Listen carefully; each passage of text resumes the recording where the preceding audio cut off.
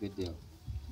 All right, dearly beloved, we are gathered here today in the presence of God and the holy host, heavenly host, to witness the uniting of Kenneth, Brody Hicks, and sobriety, Renee Groves, in marriage. The Bible teaches that marriage is a permanent relationship of one man one woman, freely and totally committed to each other as companions for life. Our Lord declares that a man shall leave his father and his mother and be joined to his wife, and they shall become one flesh.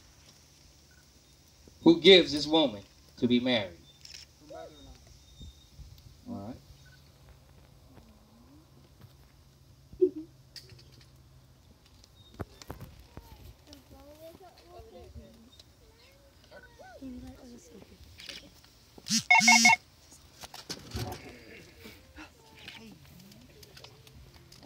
Kenny and sobriety. Marriage is an institution that was instituted by God. And God has said that marriage um, is a representation of his love and his love toward us. Since God is love, the Bible tells us in 1 Corinthians 13, 4 through 8, that love is patient, love is kind, love does not envy or boast, it is not arrogant or rude, it does not um, insist on its own way. It is not irritable. It is not resentful. It does not rejoice in wrongdoing, but rejoices with the truth. Love bears all things, and believes all things, hopes all things, and endures all things. Love never ends. The key to having a long and lasting, successful marriage is to have God at the center of your life personally, as well as the center of your marriage. The Bible also tells us that with God all things are possible, and that we that He would never leave us nor forsake us. So let us pray. Heavenly Father, Creator of all, Lord, we ask you uh, to bless this marriage that they shall enter into today, and bestow upon them your guidance and love. Give them strength, patience to live with their lives in total devotion to you and then to one another, so that others will glorify you and give you praise. We ask this in the precious name of Jesus, our Lord and Savior. Amen. Kenneth, now that you're facing your bride, take her hand. Kenneth, will you take sobriety to be your old lady? sobriety, will you take Kenneth to be your old man?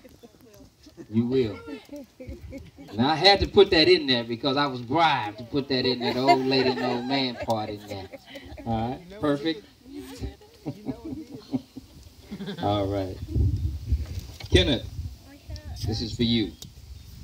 Will you take sobriety to be your lawfully wedded wife? Will you commit yourself to her? Love only her. Forsake all others for her for her well-being and lead her in the things of God.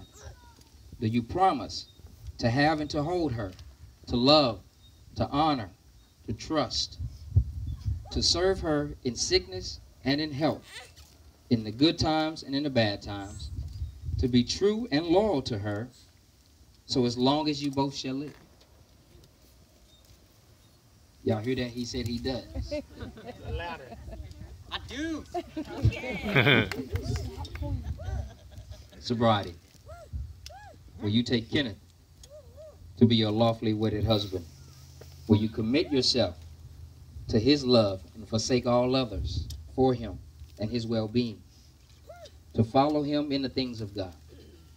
Do you promise to hold him, to love him, to honor him, to trust him, to serve him in sickness and in health, and in good times and in bad, for as long as you both shall live. I do.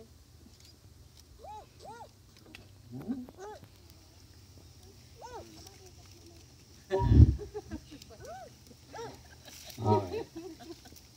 I have your rings here. These rings represent marriage to everybody else on the outside. as you wear them, you proclaim yourself taken, and that no one else has a right to you. Sobriety, he is yours. Kenneth, she is yours. Just as these rings are surround are around total circle, they're not broken. Neither can your marriage be broken. Your marriage is the death do you part. Marriage is between God, a man, and a woman. That's a covenant. And that covenant cannot be broken. Since God is not dead, and you two are not dead, the only way that this marriage ends is through death. Okay? This is serious. So these rings are an outward expression of your vows and your love to one another. Just as these rings are unbroken, so is your marriage. Kenneth, take this ring, put it on Sobriety's finger, and repeat after me. With this ring, I thee wed. I pledge my life and my love to you only. Sobriety, take this ring, place it on Kenneth's finger, and repeat after me. With this ring, I thee wed. I pledge my life, I pledge my love to you only.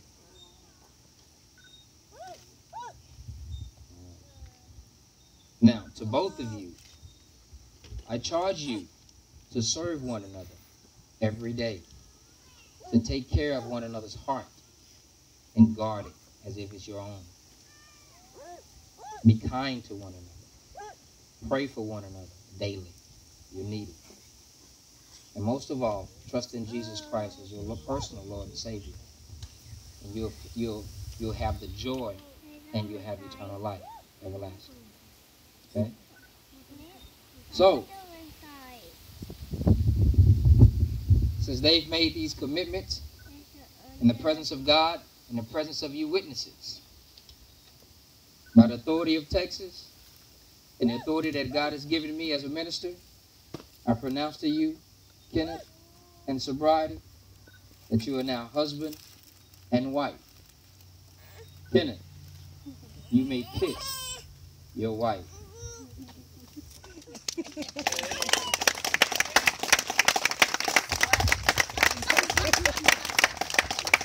Ladies and gentlemen, Ow. please, for the first time, welcome Kenneth, Mr. and Mrs. Kenneth Hicks. Woo!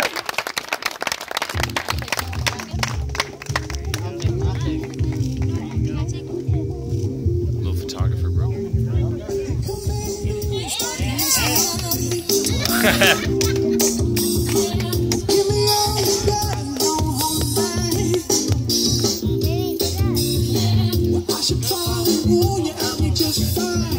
Refreshments and everything else is in the back.